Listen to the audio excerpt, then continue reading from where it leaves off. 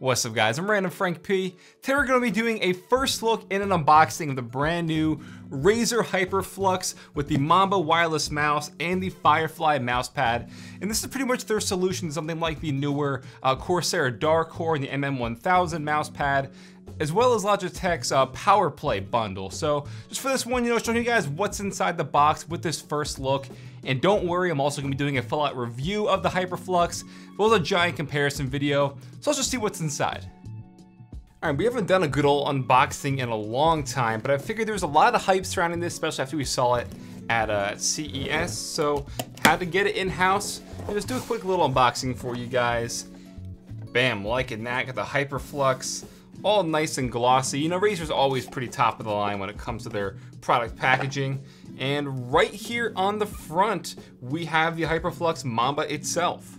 And the sides, you know, definitely similar to the Mamba, but the big thing here, and which is one of the big selling points about the HyperFlux, is the weight. Since there is no actual battery inside, this thing is much, much lighter than your traditional mouse, or even just your standard wireless mouse, um, you know, competing on the market right now. So definitely lighter overall. That's the first thing I noticed. Awesome, let's see what else we got. Got a little, uh, of course, your standard literature, pretty much like your, you know, product info guide, some specs. I see some info about the uh, the Fireflies, uh, like RGB capabilities. Of course, you got your nice Razer sticker as well. Uh, this is gonna be the USB to probably plug in the Firefly uh, HyperFlux mousepad. Ooh, okay, okay.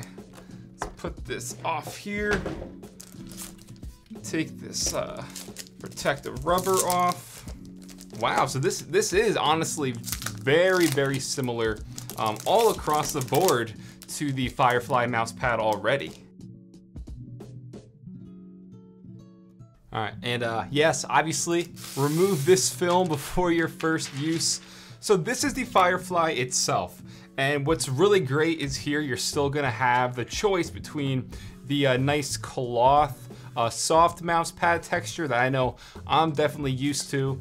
You can also flip it around and have that uh, kind of like plastic glide hard texture that you're starting to see more in the market now, but I'm definitely more of a fan of the cloth, more traditional, you know, that's, that's what I'm used to uh, when it comes to gaming. Let me just pull this down and bam, there's your thumbnail for you.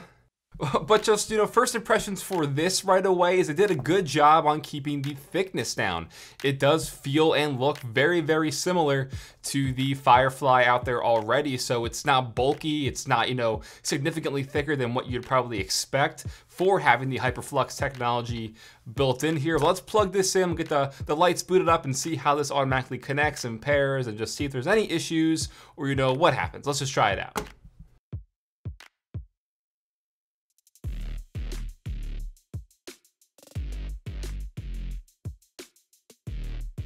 All right, so I literally just plugged it in, and as you can see, um, we have the green LED light here, which is letting us know that there's power being transmitted. We're booted up, and you can see the light here corresponding with that on the back side of the mouse. The Razer logo lit up, the scrolling wheels lit up. We have the little light here on the side, and just like that. So I took it off. I'm gonna do a quick little demo for you guys. The second you put it on, the HyperFlux technology inside is already charging and transmitting the power to this. But if I take it off, boom, there is no light, there is no power. It's because since there is no dedicated battery in this, there's no way for this to really hold a charge. So it's not really gonna die on you if you're not using it. Only time you're gonna be, you know, using this mouse is gonna be most likely on this mouse pad. So it's always just gonna have this charge going. Uh, let's just kill the lights and we'll, we'll take a look at the quick, uh, you know, chroma lighting. But um, that was, you know, simple, good, good stuff. Okay, so just a note real quick, this does just work out of the box without having um, you know, Synapse downloaded. You don't need it to be used with this, but if you want, you know, customize your DPI and change up those chroma effects, that's what Synapse is gonna enable you to do.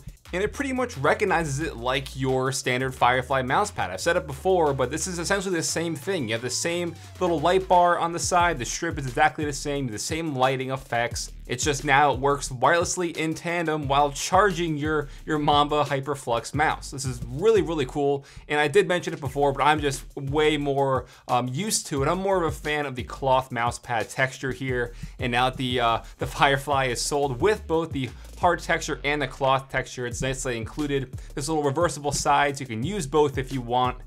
All right, this is awesome. So like I said, just a quick little first look at unboxing for you guys of this brand new Razer HyperFlux. Um, yes, I'm saving all my good B-roll and all the footage that we usually show off on the channel for the dedicated review, as well as the head-to-head -head comparison, or I guess head-to-head-to-head comparison, the Razer HyperFlux versus Corsair's Dark Core and MM1000 versus the Logitech uh, PowerPlay bundle. So Make sure you are subscribed. You don't want to miss out on those videos. Just my first impression of this is wow. It was very simple to use. It was plug and play and it was up and working immediately. I am really impressed with how lightweight this mouse is since there's no battery and the whole HyperFlux technology they have going on is really impressive. You still have all the RGB capabilities with the Firefly mousepad and also the hard texture versus the cloth texture mousepad surface because it's reversible.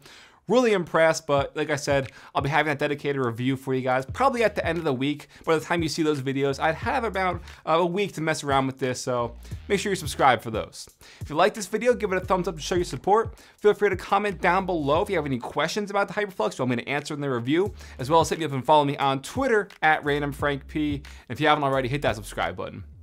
Well, I'm Random Frank P. Hope you enjoyed. Have a good day.